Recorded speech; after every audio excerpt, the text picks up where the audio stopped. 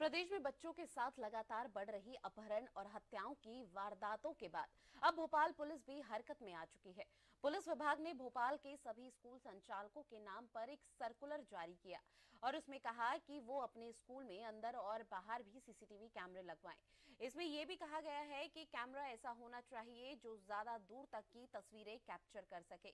आपको बता दें कि इस आदेश में यह भी कहा गया कि स्कूल संचालक ज़्यादा जीबी की हार्ड डिस्क का इस्तेमाल कर सके ताकि तीन महीने का डाटा उस सीसीटीवी में रिकॉर्ड हो सके।